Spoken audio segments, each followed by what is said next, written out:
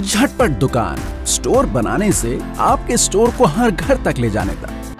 Big bless big bless, हर कारोबारी की खुशियों की चाबी, खुशियों की अपनी दुकान।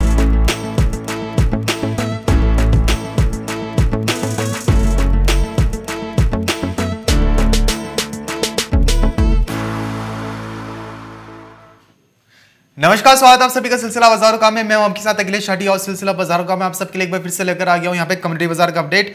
जानेंगे कि शाम, आज सुबह की कारोबारी सत्र में कम्युनिटी बाज़ार कैसा खुलता नज़र आ रहा है। हफ़्ते का आखिरी कारोबारी दिन है, शुक्रवार का दिन है।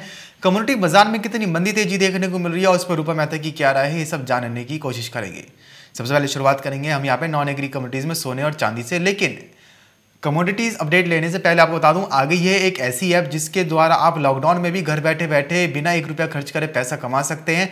ऐप का नाम है my big bliss M Y B I G B L I double S my big bliss इस ऐप के ज़रिए आप घर बैठे बैठे पैसा कमा सकते हैं। अगर आप पहले से कुछ किसी चीज़ को बेचते हैं तो आप उसकी सेल्स बढ़ा सकते हैं या फिर आप कोई स्टूडेंट है या कोई गृहिणी है तो आप माई बिगनिस ऐप के थ्रू पैसे भी कमा सकते हैं, अपना नया स्टार्टअप भी कर सकते हैं। इस ऐप से पैसे कमाने के लिए आपको बस करना इतना छोटा सा काम होगा कि अपना फ़ोन उठाना है, प्ले स्टोर पर जाना है और माई बिगलिस ऐप को डाउनलोड कर लेना है। ऐप को इंस्टॉल करने के बाद, इंस्टॉल करने के बाद, इस ऐप को इंस्टॉल करने के बाद आपको इस पर अपना स्टोर बनाना है, जिस चीज़ का भी सामान आप बेचना चाह रहे हैं, उसके प्रोडक्ट्स चढ़ाने हैं और फिर आपके पास ऑर्डर्स आने शुरू हो जाएँगे। आपको कोई चिंता नहीं करनी है कि सामान के ऑर्डर्स कहाँ से आएँगे, ग्राहक की सेल्स कैसे बढ़ेगी, सामान की इन्वेंट्रीज की जो लेखा जो ही है ये सब कौन करेगा, सारा का सारा कुछ माई बिगलिस ऐप आपके लिए ऐप के अंदर ही करके देती है। ये सारे फीचर ये सारी फैसिलिटीज़ आपको माई बिगलिस ऐप के अंदर ही मिलेंगे। तो तुरंत डाउनलोड करें माई बिगलिस ऐप इसी के साथ शुरुआत कर लेते हैं यहाँ से नॉन एग्री कम्युनिटीज़ की अपडेट की और इस वक्त हमारे साथ जुड़ी हुई है रूपा जी। उनसे जान लेते हैं कि सोने चांदी का बाज़ार कैसा रह सकता है। रूपा जी, देख रहे हैं गोल्ड सिल्वर आज हफ़्ते के आखिरी कारोबारी दिन भी वही अपना सेम ट्रेंड फॉलो करते हुए नज़र आ रहे हैं। हालाँकि खबरें ये भी निकल के सामने आई है कि यूएस का कुछ डेटा आने वाला है, जिस जिस पर निवेशकों की नज़र है और जो डेटा निकलेगा, वो आगे तय करेगा कि आगे यूएस फेडरल रिज़र्व बैंक की क्या मॉनिटरी पॉलिसीज़ रह सकती हैं। ऐसे में आपको क्या लगता है? क्या हफ़्ते के आखिरी कारोबार दिन सोने चांदी में ज़्यादा गिरावट देखने को मिलेगी? और आने वाला कारोबारी सप्ताह सोने चांदी के लिए कैसा रह सकता है?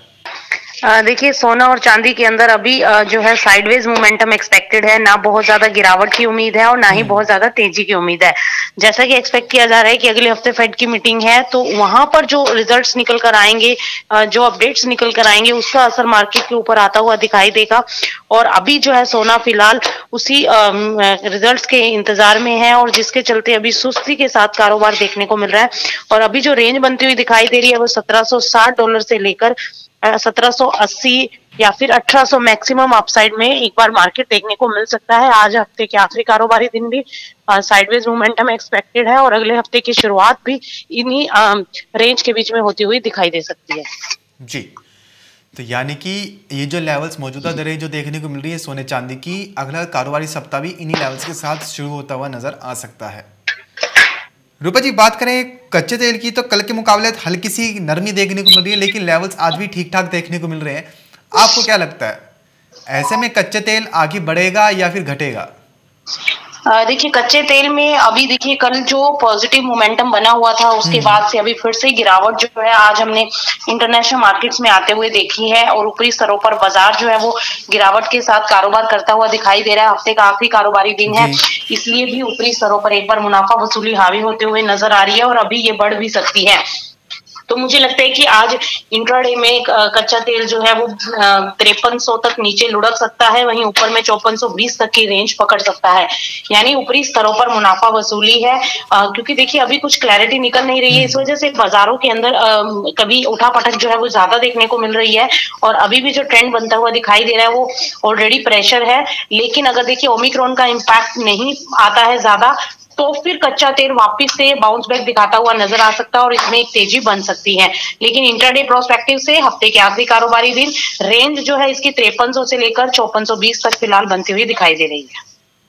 जी तो यानी कि क्रूड ऑयल की जो कीमतें हैं, अभी उन पे एक ट्रेंड फॉलो होता हुआ नज़र नहीं आ रहा है। अभी सस्पेंस वाला माहौल है, क्योंकि अभी ओमिक्रॉन का इम्पैक्ट कितना देखने को मिल रहा है और आगे कितना देखने को मिलेगा, अभी ये साफ़ देखने को नहीं मिला है। क्योंकि इससे पहले जो वेरिएंट आया था डेल्टा वेरिएंट वो काफ़ी ज़्यादा खतरनाक था। उसमें काफ़ी लोगों की जान गई थी, आवाजाही कम होती नज़र आई थी लॉकडाउन भी काफ़ी समय तक रहा था। और अब ये जो नया वेरिएंट आया है, कोरोना का ओमिक्रॉन डब्ल्यू ने इसको डेल्टा के मुकाबले पाँच गुना ज़्यादा खतरनाक बताया है। लेकिन अभी तक ऐसा कोई मामला निकल के सामने नहीं आया है या फिर अभी तक ऐसा कोई असर देखने को नहीं मिल रहा है, जिसकी वजह से किसी की या तो कोई जान गई हो या फिर लॉकडाउन वाली परिस्थिति लगी हो। हालाँकि लॉकडाउन कई कई देशों में लग चुका है वर्क फ्रॉम होम पर। जैसे फॉर एग्ज़ाम्पल बात की जाए ब्रिटेन की तो ब्रिटेन वर्क फ्रॉम होम पर एक बार फिर से लौटा है। लेकिन आगे जाके क्या रहेगा, कैसे रहेगा, अभी देखना बाकी है, जिसकी वजह से कच्चे तेल में अभी उठापटक का माहौल ये जारी रह सकता है। रूपा जी, बात करें यहाँ से अगर बेस मेटल्स की तो बेस मेटल्स में देख रहे हैं कि कॉपर 4.3 डॉलर्स पर ट्रेड करता नज़र आ रहा है और MCX जिंक निकल और लेट आज लाल निशान पर दिख रहे हैं। आपको क्या लगता है? जिस हिसाब से आज लाल निशान पर खुलता नज़र आया है बेस मेटल्स का वायदा बाज़ार तो क्या आने वाले कारोबारी सप्ताह में भी यही ट्रेंड फॉलो होता हुआ नज़र आएगा या फिर यहाँ से खरीदारी बन जाएगी?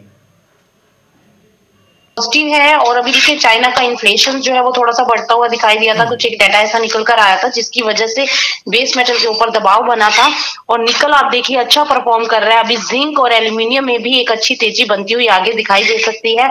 आज इंट्राडे में हो सकता है कि ऊपरी स्तरों पर मुनाफा वसूली हावी होते हुए नज़र आए लेकिन मुझे लगता है कि नेक्स्ट वीक अगेन इसके लिए पॉजिटिव रह सकता है और इसमें एक तेज़ी बनती हुई दिखाई दे सकती है। जी। दुबे जी टॉपिक्स जानना चाहेंगे आपसे नॉन एग्री कम्युनिटीज में? आज के लिए क्या टॉपिक्स रहेंगे हफ़्ते के आखिरी कारोबारी दिन?